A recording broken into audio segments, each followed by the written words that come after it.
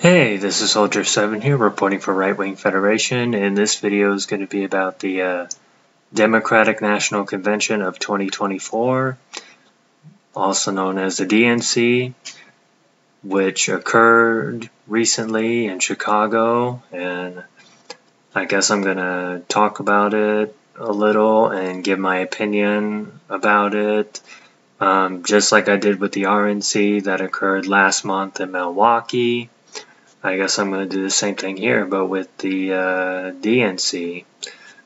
So, uh, yeah, here it goes. As you know, uh, last week the Democrats held their national convention in Chicago, and like I said, I didn't see all of it, but I did see some of it. You know, I didn't see all of it. Just like with the RNC, I didn't see all of it but I did, but I didn't see, but I did see some of it, you know, with the DNC, and um, all I can just say is, is I'm not feeling it. Like that's really the only thing I can come up with is I'm not feeling it. Granted, even though I didn't see all of it, I did see some of it. I saw some of the speeches and so forth, and even went back to look at a few images and so forth and I mean, I don't know. Me personally, I think it just came off as mostly negative. Like the RNC, which I felt like it came off as mostly positive. I feel like in this case with the DNC, it came off as mostly negative. And I'm not saying that out of bias. I'm just saying that out, out of honest. You know, just to be honest. Um, some of the things that I did see just came off as kind of negative and at times even kind of awkward.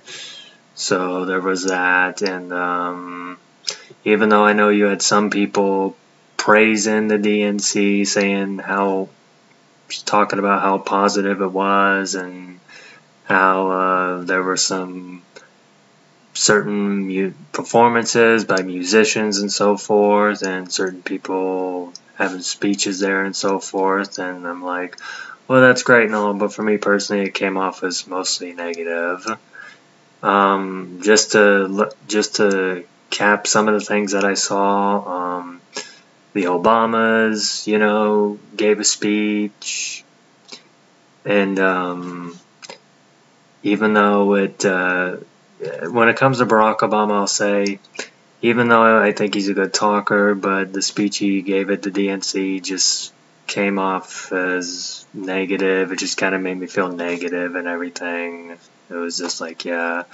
And then you had Bernie Sanders, who at one point was giving a speech and he was talking about billionaires and talking about, yeah, he was criticizing them and so forth. And then right after he was finished, he introduces a billionaire who is the current governor of Illinois, who happens to be a billionaire.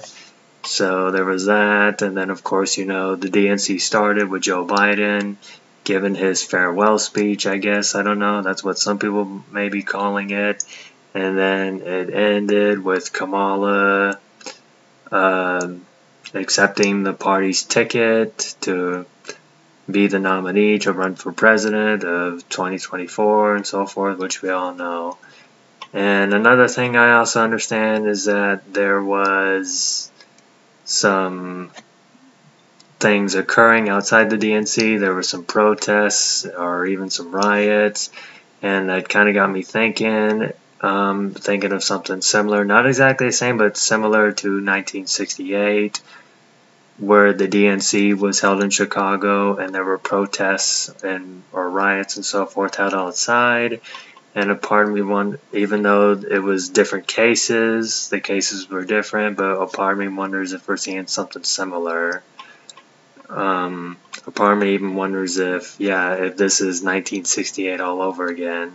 Is it? Is this 1968 all over again? I don't know. I don't really have much to say, so yeah, I'm just gonna leave it there. But yeah, you you have any takes? Feel free. The comments are open. That's all I'm gonna say for right now. This is Soldier Seven. Thanks for listening.